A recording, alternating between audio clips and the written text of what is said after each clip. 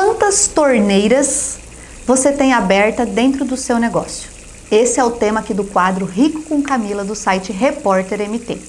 Empresário, você já parou para pensar que o seu rico dinheiro pode estar escorrendo porque tem um monte de torneiras abertas na sua empresa e que você não tem conhecimento? Olha, segundo Falcone, gestão significa uma lacuna entre um problema e outro. E eu quero falar que falta de gestão significa ter um monte de vazamentos dentro do seu negócio. E por que que tem esses vazamentos dentro do seu negócio e você não consegue diagnosticar isso? Porque você não possui gestão. E o que eu tenho que fazer, fazer dentro, dentro, do meu negócio? negócio? Bem, muitas vezes o empresário ele está focado só em vender. E se você só vender e não olhar para o seu financeiro, você vai vender muito, vai faturar muito, mas vai chegar no final do mês, você vai estar no vermelho igual.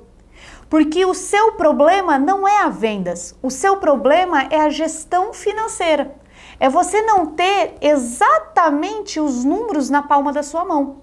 É você não ter feito uma formação de preço de venda adequada do seu produto ou do seu serviço. E aí, quanto mais se vende, mais se gasta. E se mais se gasta, e se você está tomando prejuízo nessa formação, automaticamente vai crescer o rombo dentro do seu negócio.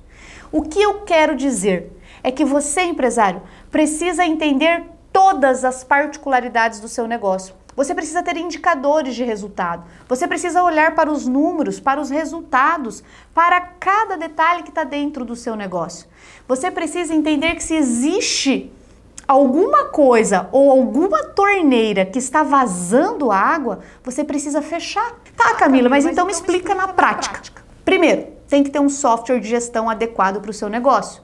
Precisa fazer conciliação bancária precisa não misturar o dinheiro do sócio com o dinheiro pessoa física. Precisa saber vender bem. E o vender bem é saber como e quanto você está tendo de margem de lucratividade por cada serviço ou por cada produto vendido dentro do seu negócio.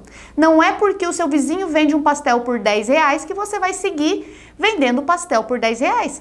Às vezes o seu vizinho não tem os mesmos custos que você na produção dos pastéis. Então, Utilize a fórmula do markup para fazer formação de preço. Você precisa entender quanto que entrou, quanto que saiu e para onde saiu esse dinheiro. Porque dessa forma você vai ter gestão do seu negócio. E dessa forma você vai diagnosticar todas as torneiras que estão abertas antes dessa conta de água chegar, que no caso é quando a sua empresa fica no vermelho. E muitas empresas, segundo o Sebrae, fecham antes dos dois anos de sua existência, justamente porque não tem gestão do seu negócio e não consegue ver as torneiras que estão escorrendo o seu rico dinheiro. Quer saber mais sobre? Fica ligado aqui no site Repórter MT, quadro Rico com Camila.